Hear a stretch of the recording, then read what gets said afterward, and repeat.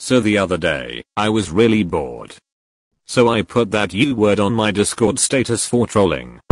Little did I know I was doing the biggest mistake of my life. 18 minutes after I posted it, Froster exposed me on YouTube. I was screwed. I made up a lie hopefully they will believe me, they didn't.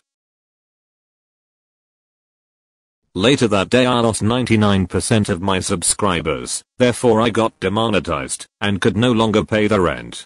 Not even my Discord Nitro subscription. I was kicked from my house, failed my math test and got rejected. Twice. Moral of the story, never put that U word as your Discord status.